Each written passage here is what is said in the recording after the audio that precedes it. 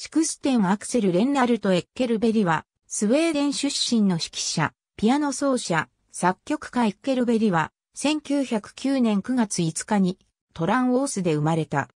1927年から1931年までストックホルム音楽院でエルンスト・エルベリに作曲、レンナルト・ルンドベリとオロフ・ビーベリにピアノを学んだ。指揮法はハインリヒ・ハンマーのアシスタントであったオラロ・モラレスに指示している。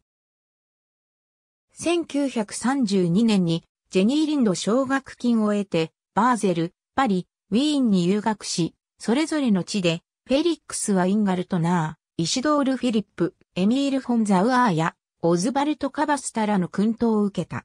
その後、ピアニストとして、フランスやイギリスなどを演奏して回ったが、1936年に、イェブレ交響楽団の首席指揮者に就任し、指揮者として活動するようになった。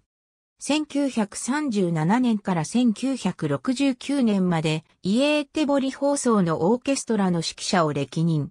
また、隣国のフィンランドやノルウェーのオーケストラやフランス方面にもたびたび客演した。1991年4月9日、イエーテボリにて没した。ありがとうございます。